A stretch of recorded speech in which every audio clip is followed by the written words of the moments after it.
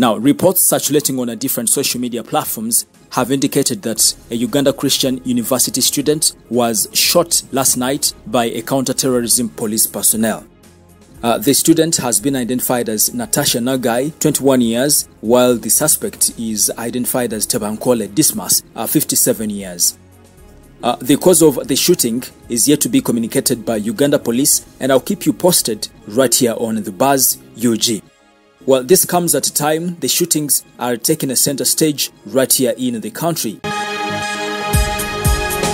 Now, the former Inspector General of Police, that is uh, General Kale Kayihura, has finally been included on the list of officers set to be retired from the army this year.